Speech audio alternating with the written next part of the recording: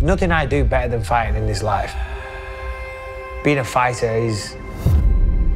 That's who I am. When Vitor Belfort landed that kick, Michael Bisping lost the vision in that one eye.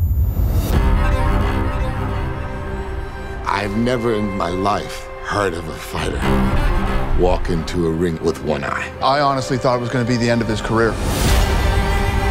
I've had people write me off constantly, saying I wasn't good enough, wasn't strong enough. After the Dan Henderson fight, everybody said it was over.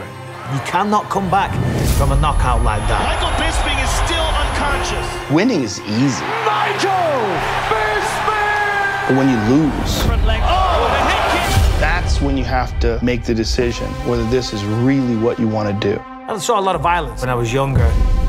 I think I was forced to be mentally tough, to be honest. Sometimes he could hardly walk. But he lives for his children. Everything he does is for them.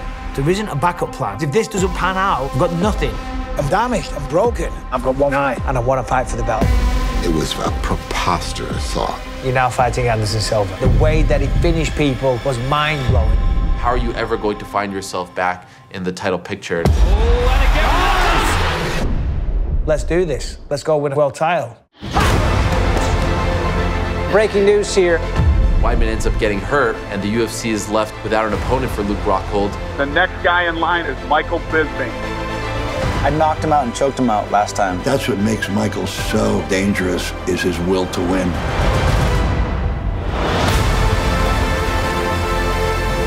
Michael always been an underdog all his life. He's the true epitome of a Rocky movie. He gets back up, and I'm like, no, you don't, buddy. Oh, my goodness.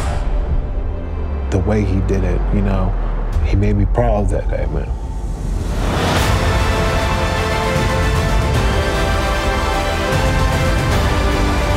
I have to win. They don't know what I'm capable of. It was a dream come true. Michael Bisping is the champion of the world! There's no way I'm gonna quit.